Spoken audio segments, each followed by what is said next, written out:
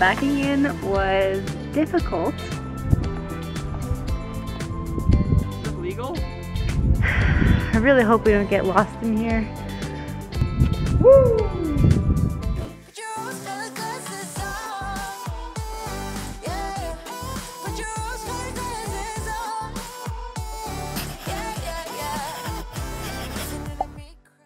Good morning, guys. Hey everyone and welcome back to Arches National Park. Yeah, we were so lucky. We got a campsite here in Devil's Garden Campground in the actual national park. It's very competitive and there's only like, I don't even know how many sites, but very little sites. Yeah, it's beautiful. It is a little bit tighter of a campground. We're probably the biggest rig in this whole campground here right now. And then our campsite actually has a tree overgrown into the parking site. So it was a bit of a tricky back in, but at least over this last bit of travel, I've gotten a lot better at the trailer. Alysha's become a master at giving directions, and we managed to figure it out. But the tree's like in half of our site to pull in, and then the picnic table's on the other side, so a little bit weird of a layout, but we made it work. Yeah, backing in was difficult, but we managed to do it luckily, so. Yeah, pretty quick too, right, Chloe? Yeah. Chloe has had a big nap day here. She did a whole bunch of sleeping, so she's supposed to stay up till technically 9 o'clock, our sleep app says. So oh, what the heck? we're gonna catch a golden hour little sunset walk here. We're gonna check out one of the trails. A few of the trails to the arches are located right in the campground itself. So fortunate for us, hey Chloe?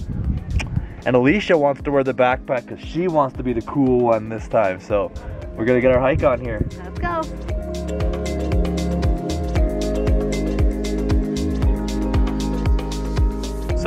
Quick walk here to see Tapestry Arch. The trailhead is literally right across from our campground basically. We're site 36. I believe there's only a little over 50 campsites in total here, so it's super cool to get here and stay by yourself.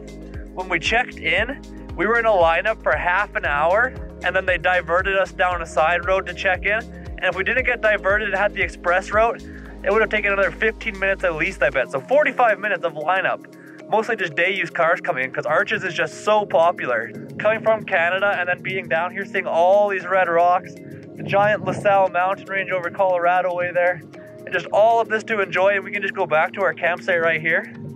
This is so nice.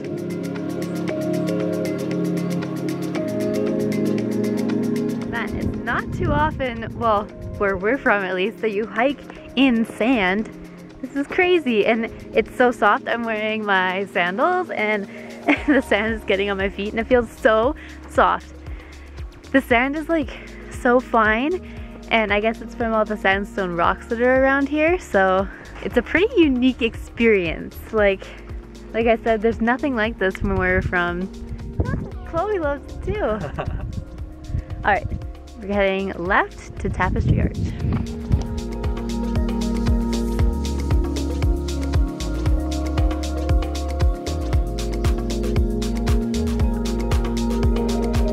Okay, so we just found Tapestry Arch there, and it was like a 10 minute walk from our site, if that. No one's even out here. It's beautiful walking through all the high desert. It's an elevation of like 5,000 feet out here. We've even seen a little bit of cactus, so that's kind of fun for me. But Tapestry Arch was cool. We also checked out the windows today. We saw a double arch, and we saw a turret arch.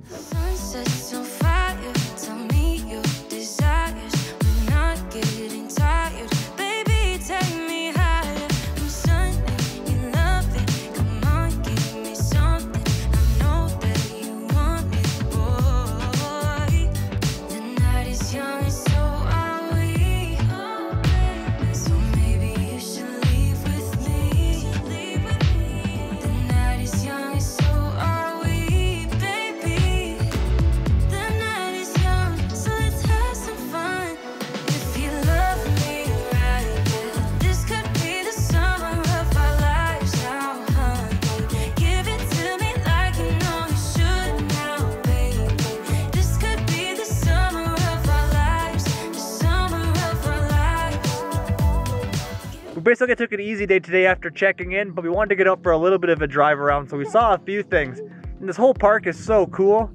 The Devil's Garden campground we're staying at itself is almost a half an hour drive, I would say, from where you check in with the visitor info center. So all the way through there, there's all these different parking lots for different arches, different panoramic viewpoints of the La Sal mountain range, the Salt Flat area, And there's just so much to do here. You gotta pick what you want to do when you come because there's tons of opportunity to see things.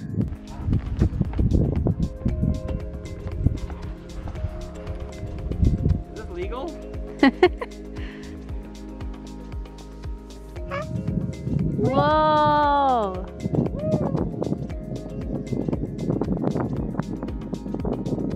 You like that? Okay, enough horsing around, Chloe. Let's go see Broken Arch.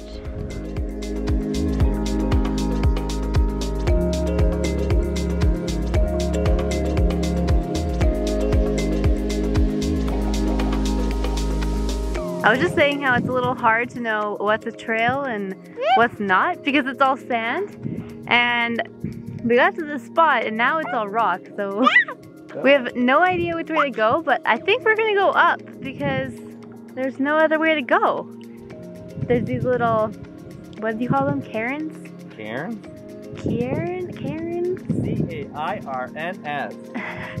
they look like little Nookshucks, but they obviously are supposed to mark the trail, and I see something way up there. So maybe we do go up the rocks. Wish us luck. Four by four.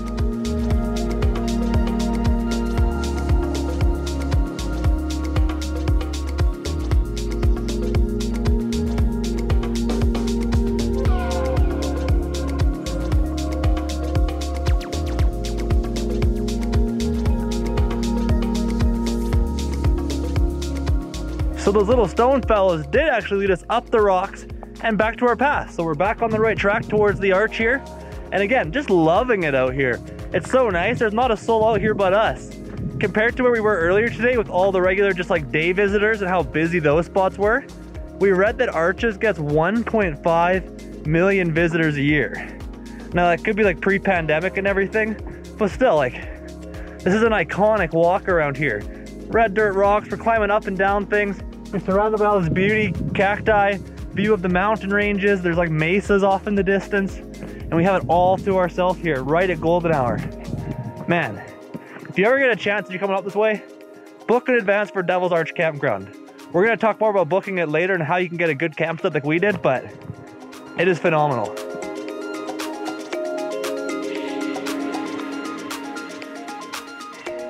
We found the arch.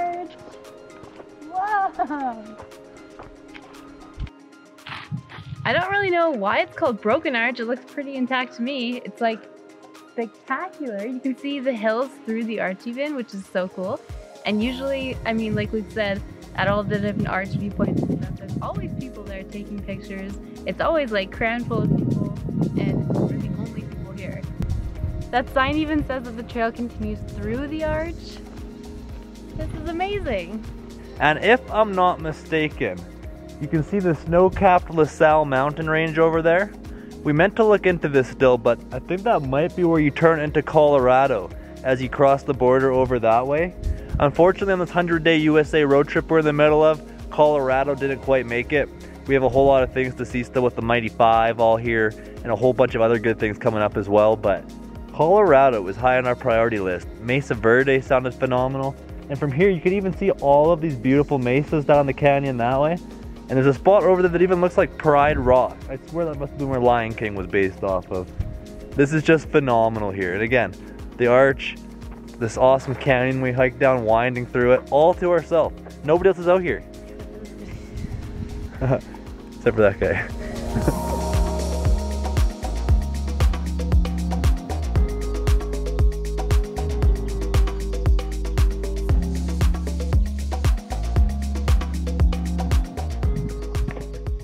Chloe. Dangerous. Be very careful. It is, but worth noting, all of this sandstone has like a sandpaper gritty consistency, so fun to climb on and play on at least. Still be careful. Whoa! Not funny. Am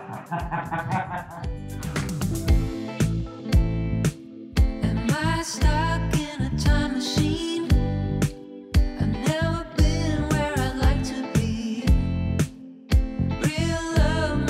Might be. All right, this is pretty neat. We're walking in between rocks through a canyon back to the campground.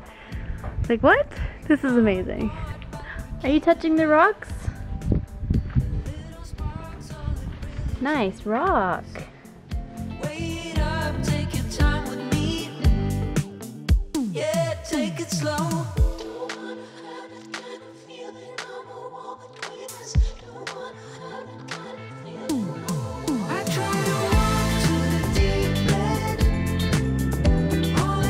Again, there's no real path, it's just a whole bunch of rocks, so we're keeping an eye out for those rock piles.